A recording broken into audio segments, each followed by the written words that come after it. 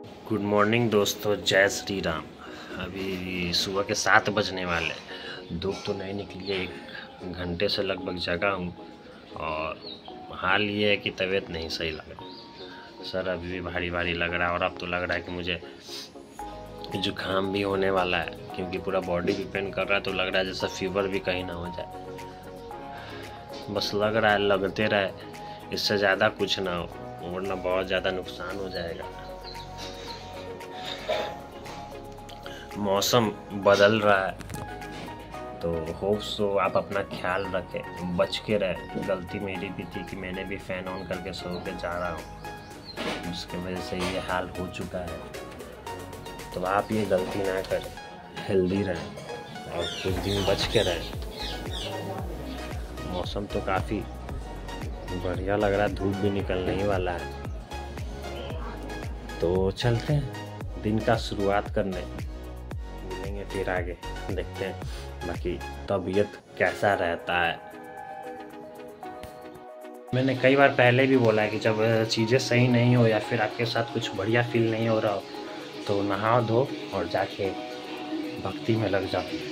मैं तो वैसे रोज़ लगता हूँ, और आठ बज, साढ़े आठ होने वाले मैं नहा तो लिया हूँ, चला मैं पूजा करने। शायद तबीयत भी सही हो जाए और दिन भी। हाल ये है ना धूप बहुत ज़्यादा अभी मैं बाहर हूँ, घर से बहुत दूर। लेकिन हाल ऐसा है ना, धूप की वजह से कि एक स्वेट शर्ट में भी हालत ख़राब है। मुझे नहीं लगा था कि इतना ज़्यादा है, गर्मी लगने वाला है।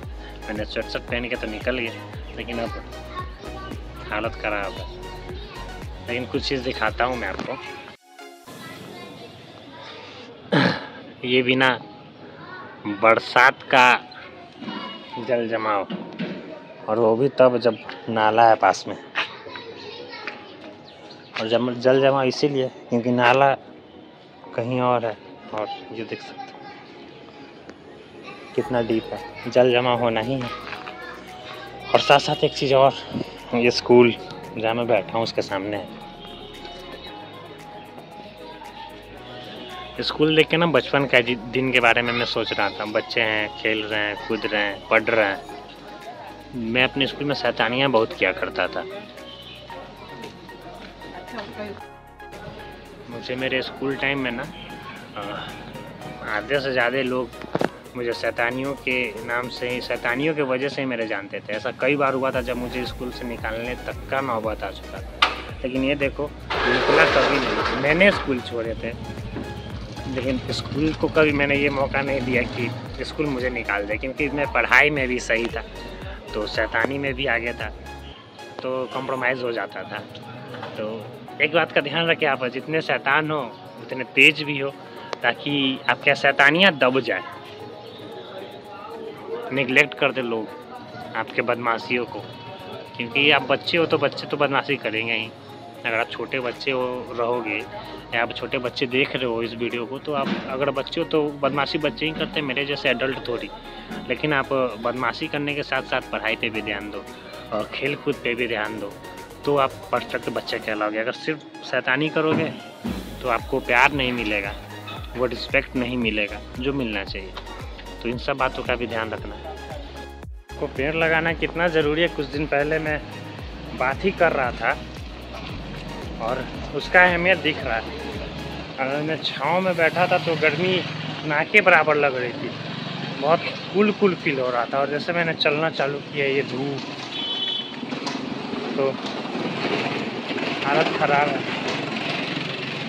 तो अगर यही रोड पे पेड़ रहते, हल्का धूप, हल्का छाँव रहता तो इतना ज़्यादा फ़र्क नहीं पड़ता धूप से। लेकिन बदकिस्मती हमारी कि हम लोग जंगल साफ़ करते जा रहे हैं। डेवलपमेंट के लिए। और जंगल साफ़ तो कर दे रहे हैं, लेकिन फिर उसके अल्टरनेट में कुछ कर नहीं रहा। है तो उसके अल्टरनेट में भी हमें कुछ ना कुछ रास्ता तो निकालना चाहिए। हमें प्रयास करना चाहिए, सब चीज़ गवर्नमेंट पे या फिर दूसरों पे नहीं छोड़ सकते हैं। कुछ चीज़ तो हमें भी देखना चाहिए हमारे आसपास के लिए। हमारा इतना तो ज़िम्मेदारी बनता भी है। अभी मैं स्टेशन पे हूँ और स्टेशन पे से एक ट्रेन गया पटना कोटा, जिसमें 75 टू 80 परसेंट पटना से स्टूडेंट जाते हैं कोटा पढ़ाई करने के लिए। तो एक थॉट मेरे मन में आया ना कि एक फ़िल्म का ही डायलॉग है कि ज़िंदगी के अंत में सब बढ़िया होता है। और अगर वो बढ़िया ना हो तो वो समझो कि अभी अंत हुआ नहीं है। तो ये बात सच है। मैं ये नहीं कहता कि आप किसी चीज़ को पूरे शिद्दत से चाहो तो पूरी कायनात उसे आपसे मिलाने में लग जाती है। कितना सच और कितना झूठ, इस पर तो मैं ना जानता हूँ, क्योंकि मैंने जिसको शिद्दत से चाहा वो तो खोया है मैंने। लेकिन एक बात ज़रूर है, अगर आपके साथ बढ़िया नहीं हो रहा है ना तो आपके ज़िंदगी का अंत अभी नज़दीक नहीं है। तो वहाँ पे जाके, कोटा में जाके बहुत सारे बच्चे सुसाइड कर ले रहे हैं। ऐसा बहुत सारा केस आया है। मैं हाल में कल कल कल एक नोट देख रहा था, सोलह साल का लड़का था, जेई का तैयारी करने गया था। उसकी माँ ने कॉल किया तो उसने उठाया नहीं, उसने बोला कि शाम में बात करता हूँ और शाम में ना उसने कॉल किया, ना कुछ।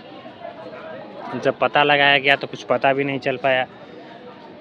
लास्ट में कुछ दिनों बाद पुलिस भी थक गई जब तो उसके पापा को किसी तरीके से पता चला और स्मेल के थ्रू जब उन्होंने पता लगाया तो उस बच्चे की डेड बॉडी मिली। और एक नोट मिला सोलह साल के बच्चे के पास से कि मुझसे नहीं होगा ऐसे करके। तो ज़िंदगी का अंत। ऐसा नहीं है कि सोलह साल में आप क्या उखाड़ना चाहते हो सोलह साल में? कुछ भी नहीं। ज़िंदगी में हासिल क्या करना चाहते हो? ज़िंदगी बहुत बड़ी है। आप ज़िंदगी में पच्चीस तीस साल के हो जाओगे ना, तब आपको चाहिए होगा सारा चीज़ आपके लाइफ में। सोलह, सत्रह, अठारह में क्या चाहिए आप? तो आप स्टूडेंट हो तो प्रेशर मत लो। स्टूडेंट लाइफ होता है, जीवन को सीखना, समझना और सही चीज़ को इम्प्लीमेंट करना अपने लाइफ में। इस बीच में अपने लाइफ को ख़त्म करना बिल्कुल भी सही नहीं है और ना कहीं से आता है कि आप लाइफ को ख़त्म करो। लाइफ का एक्सपीरियंस लेने का समय होता है वो, सोलह से लेके बीस, इक्कीस, बाईस तक। ताकि बाकी आने वाले तीन से चार साल में आप समझ चुके हो कि आप किस चीज़ के लिए बने हो और आप क्या चाहते हो और कैसे चाहते हो और तीन, अगला तीन से चार साल में आप वो हासिल करो। तो सोलह से इक्कीस का सीखने का होता है तो सीखिए, सुसाइड मत कीजिए। और ज़िंदगी के अंत में सही में सब चीज़ बढ़िया होता है तो यकीन मानिए। आप जो चीज़ को चाहते हो ना कभी कभी उस चीज़ को पाने के लिए बहुत मेहनत करो, शिद्दतों वाला प्यार करो उससे, वो चीज़ आपको मिल ही जाएगा। अगर वो इंसान भी है ना तो अगर उसको आपको, आपका कदर होगा तो मिल जाएगा। अगर उसको आपका कदर नहीं होगा तो कभी नहीं मिलेगा। तो कोशिश करना कभी ना छोड़े। जब तक आपको लगे इंसान के मामले में भी कि हाँ मैं कर सकता हूँ तो आप कोशिश करो। एट द एंड अगर जब आप को लगे कि अब नहीं कोशिश करना चाहिए तो छोड़ देना। लेकिन आप अपने सपनों को कभी मत छोड़ना, क्योंकि उसमें सिर्फ़ आपका एफर्ट्स रहता है, दूसरे का नहीं। दूसरे का एफर्ट्स चाहिए भी नहीं। ध्यान रखें इन सब चीज़ों की। और फालतू की चीज़ों से बिल्कुल दूर रहें। ऐसे थॉट से भी दूर रहें।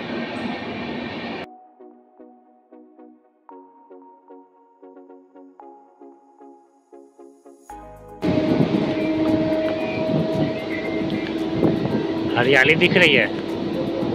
अच्छा लगता है ना देखने में। इस सीज़न का लास्ट रिसेप्शन पार्टी अटेंड करने जा रहा हूँ। तो इसी के साथ ख़त्म होगा इस सीज़न का सारा फ़ंक्शन वगैरह भी। तो चलते हैं। आज आखिरी बार बाहर का खाना खाने। दूसरे के शादी या बर्बादी, जो बोलो, उसमें।